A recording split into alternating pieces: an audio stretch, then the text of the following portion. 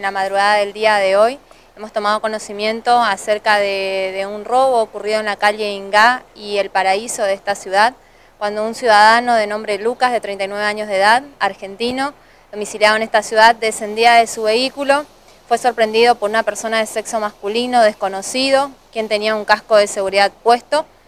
le exhibe un arma de fuego y le solicita le entregue todo lo que tenía. Esta persona ante la situación eh, trata de correr del lugar, eh, la víctima trata de correr del lugar, por lo cual esta persona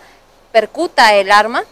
el denunciante manifiesta haber escuchado la percusión del arma, no salió afortunadamente ningún disparo.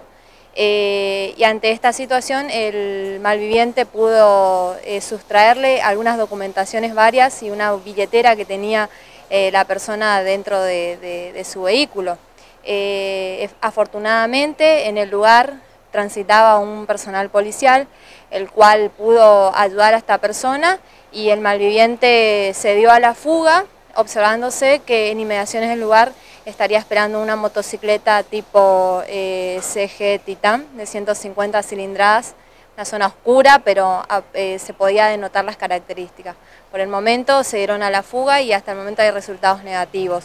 no hubo víctimas ni resultó lesionado esta persona. Bueno, y le cambio ahora el orden de la información, le pregunto cómo estuvo el control en esto que fue el festejo de los millonarios anoche por la Copa Sudamericana aquí en Iguazú. Bueno, es así, estuvimos eh, a cargo del operativo de seguridad de, los festejos llevados a cabo en la conocida Cinco Esquinas de la ciudad de Puerto Iguazú. Eh, agradecerle la colaboración a toda la ciudadanía, que los festejos se realizaron dentro de, los parámetros normales, eh, en todo momento eh, los ciudadanos prestaron su colaboración, se han retirado con toda amabilidad tras festejar en un lapso de tiempo considerable, ya que también es, estamos en una semana, horario de trabajo,